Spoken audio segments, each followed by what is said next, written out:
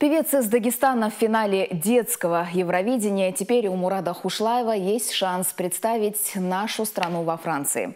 Исполнитель из Дагестана, солист детской филармонии Махачкалы, занимается вокалом у заслуженного деятеля искусств республики Рамазана Фаталиева. Принимает активное участие во всех концертных мероприятиях города.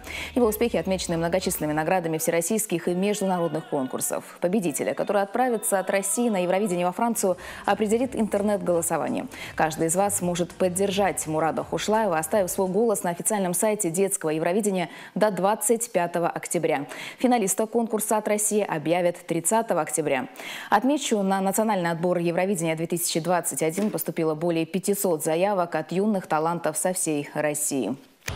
Дорогие друзья, мне очень нужна ваша поддержка. В этом году я прошел финал детского Евровидения 2021. Сейчас все зависит от вашего голосования. Прошу вас, проголосуйте за меня. Помогите мне осуществить мою большую мечту.